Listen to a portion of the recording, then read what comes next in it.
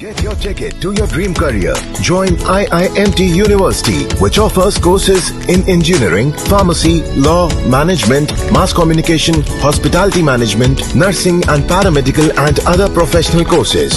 O pocket Ganganagar Mawana road Meerut सरकारी व्यवस्था पर सरकारी व्यवस्था को चलाने वाले ही किसी ग्रहण से कम नहीं है यूपी की योगी सरकार की कोशिश है कि हर उस परेशान व्यक्ति को इलाज मिले जो लॉकडाउन के कारण बंद पड़ी सरकारी सेवाओं से वंचित चला रहा है। मैं हूँ रवि शर्मा और आप देख रहे हैं फ़र्स्ट बाइट डॉट टीवी इन दोनों कोरोना के अलावा अन्य किसी मरीज़ को देखा नहीं जा रहा है, जिस कारण बाकी लोगों को अच्छी खासी परेशानी हो रही है। इसे दूर करने के लिए ही योगी सरकार ने आज, यानी 4 जून से प्रदेश के सभी जिलों के सरकारी अस्पतालों में ओपीडी शुरू करने के आदेश दिए हैं। लेकिन सरकारी व्यवस्था तो आखिर सरकारी ही ठहरी। मेरठ जिला अस्पताल के हालात ये हैं कि यहाँ तीमारदार लंबे समय से इलाज की बाट झो रहे अपने मरीजों को लेकर तो पहुँचे, लेकिन वहाँ देखने अथवा माकूल जवाब देने वाला कोई चिकित्सक नहीं था।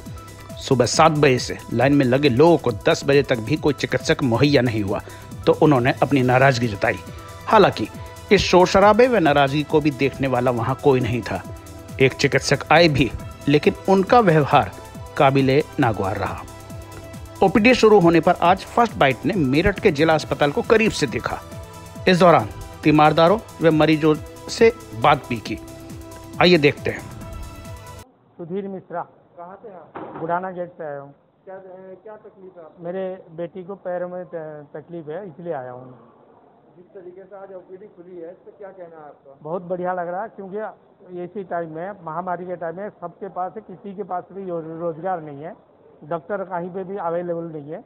जब ये खुले हैं तो हम तीन दिन से मैं लगातार ट्राई कर रहा था। कल भी आया था। इन्होंने आज नौ बजे से पहले कह दिया था कि आठ बजे बैठेंगे। मैं सुबह ये पर्चा मेरे हाथ में है। सुबह से मैंने जब पोछा लगा हुआ था तब से मैं यहाँ पे लाइन में लगा हुआ हूँ। तो कोई दिक्कत प्रॉब्लम आई है अभी तक? नहीं कोई भी तकलीफ़ नहीं आई है। पर्चा आराम से बन गया है। डॉक्टर तो अभी तक आए नहीं और यहाँ पे किसी को भी नहीं पता कि आएँगे या नहीं। जो स्टाफ है वो भी श्योर नहीं है कि वो डॉक्टर साहब आएँगे। मेरा नाम नेहा है। कहाँ से आए हैं ये मैं आई हूँ पांडव नगर से आई हूँ। किस लिए आए हैं आप क्या परेशानी है? मेरे हस्बैंड की तबीयत खराब है कल से। सीटी स्कैन कराने आए थे। अब डॉक्टर को दिखाने आए तो डॉक्टर का सुबह सात बजे से बैठे हैं अभी तक डॉक्टर का कुछ पता नहीं और यहाँ के कर्मचारियों से पूछे तो उनको भी नहीं पता है कि डॉक्टर कब आएँगे।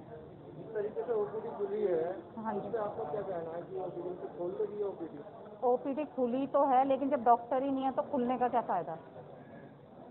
आपने जिससे संपर्क किया? डॉक्टर कब आएँगे कब नहीं आएँगे? बहुतों से करा।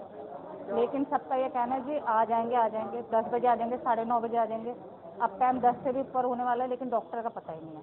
वहीं इस बारे में मुख्य चिकित्सा अधिकारी डॉक्टर अखिलेश मोहन ने यह कहा। जिला अस्पताल के अंदर सर्जिकल ओपीडी जनरल सर्जरी और ऑर्थो उनको खोलने के ऊपर से शासन ने आदेश दिए हैं जिला अस्पताल के अंदर। सोशल डिस्टेंसिंग के साथ सारे प्रोटोकॉल फॉलो करते हुए सर्जरी जो की जाएगी उसके कोविड टेस्ट करके, उसको एडमिट करके, उस हिसाब से किया जा सके, जिससे कि कोई पेशेंट इन्फेक्ट ना हो। सर्जिकल ओपीडीज के लिए अभी शासन से आदेश है, जिला अस्पताल में खोलने के नहीं, मेरे ख्याल से किस लेवल कंफ्यूजन रहा है, मैं कोशिश करता हूँ, उसको अभी उसको रेक्टिफाई करा के, उसको दुरुस्त करने की कोशिश करता हूँ। इस खबर में फ़िलहाल इतना ही। कोरोना काल में कोरोना प्रोटोकॉल का शत प्रतिशत पालन करें।